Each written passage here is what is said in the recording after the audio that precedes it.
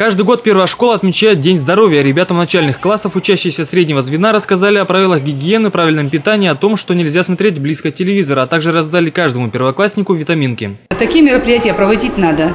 Это день посвящен э, здоровому образу жизни, где мы показываем ролики, проводим гимнастику, объявлен конкурс рисунков «Здоровье – это жизнь».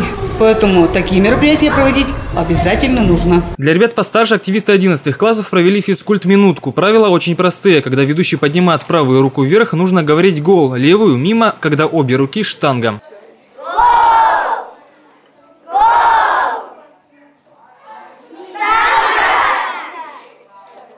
Также в первой школе есть и комната релаксации, где детишки смогут весело и активно провести свободное время. Возможности ее очень большие. Это психологическое здоровье, снятие различных стрессов, снятие э, эмоционального неблагополучия. Ребята очень с удовольствием занимаются в этой комнате, и массу положительных эмоций для здоровья они здесь получают. В рамках мероприятия был проведен и флешмоб. Ребятам удалось синхронно выполнять все движения.